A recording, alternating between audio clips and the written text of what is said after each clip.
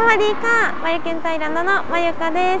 観光旅行最終日の夜ご飯はこちらのお店にやってきました。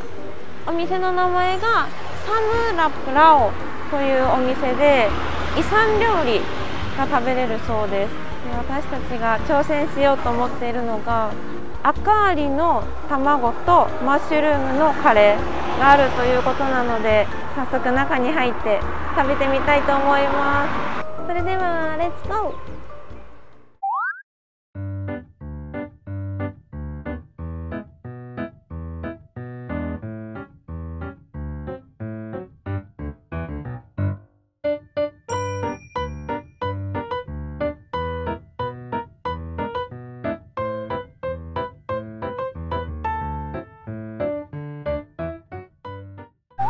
はい料理が来ました。私たちが注文した料理はこちらのゲンヘッロンカイモッテン注文できました。これは何ですか？ゲンがカレーでヘッドがマッシュルーム。ルワンが全部合わせる。でカイモッテンが赤アリの卵。この白いのが赤アリの卵。そうなんです。えー、すご。見て。うわすごいやば。これは何と表現したらいいのか。それは食べてから表現しよ白い。白いけど中に何かいるって感じ。じゃない。うでもう一つが？もう一つがパッミー。サムラプラオ。麺を炒めてる。パッとミーコラートに近い気がするね、うんなんかそんな感じなのかな、ね、じゃあ早速食べていきます。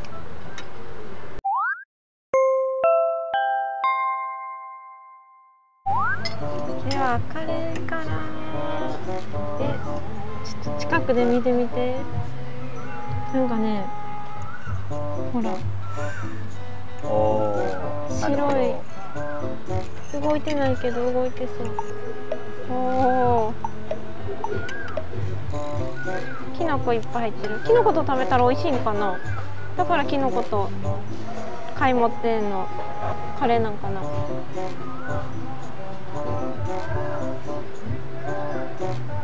お じゃあ食べていきます。えまずマッシュルームとスープでいい？ーまあ最初ね慣れるために、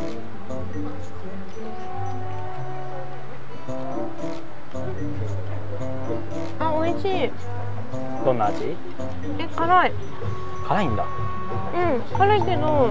うん。カレーっていうよりスープって感じ。確かにうんタイのカレーの味と同じ味やけどスープ感覚で飲める。うんめっちゃ美味しい。じゃあアリの卵いこうか。うん。赤アリの卵。赤アリの卵そう。貝も出んやからおお食べるよ。ーうん。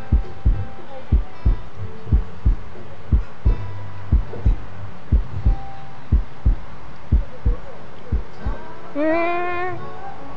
えいけるかも。嘘。スープの味が強いから食感だけって感じ。うん食感がねうん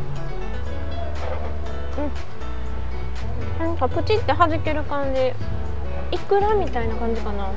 えでもねイクラみたいにとろける感じじゃなくって結構皮が残る。え美味しいかもしれない。お？なんかね全然変な味するとかじゃない。うん。いける。思ったより反応普通やったよな。いけてる？いけてるいけてる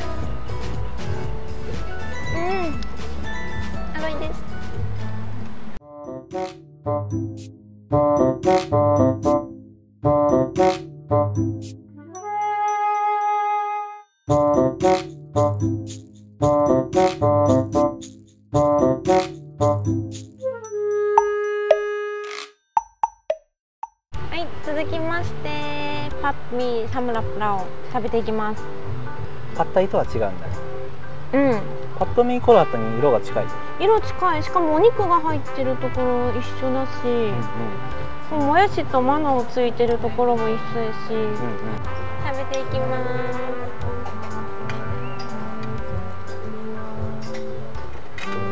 おいしい。ですどんな味？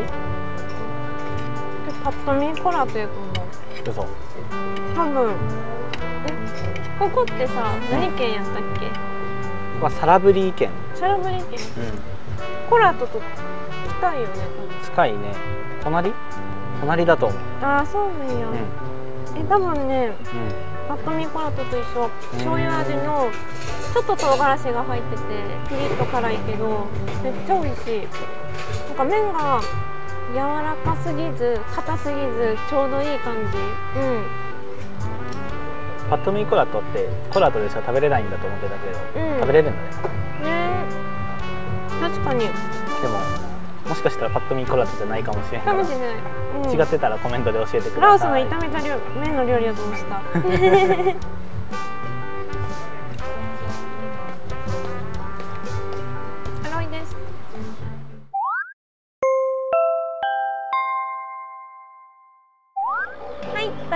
けで2泊3日の観光旅行。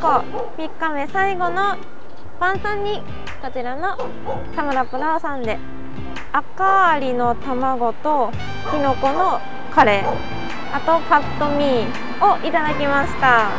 アリの卵はずっと怖くて食べれへんかったけど実際食べてみるとそんな癖もなくって美味しかったよね。意外と食べれたね。食べれましたあとパッとミーもこの前コラートに旅行行ってきたばっかりっていうのもあったけどやっぱりまた食べると美味しいよね。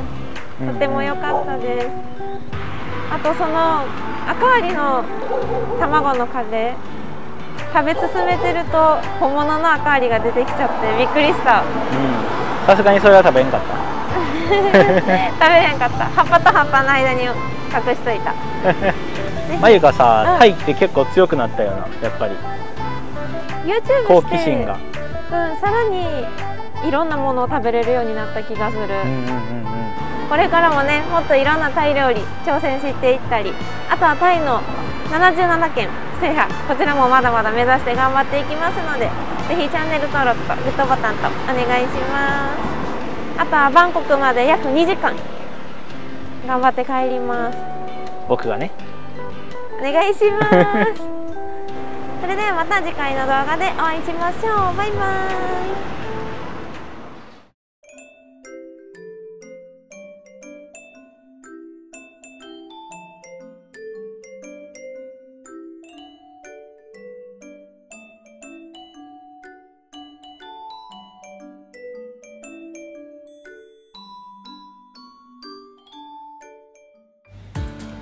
最後までご視聴いただきありがとうございます。この動画がいいと思ったらチャンネル登録とグッドボタンお願いします。また動画の感想をコメントで教えてください。それではまた次回の動画でお会いしましょう。バイバーイ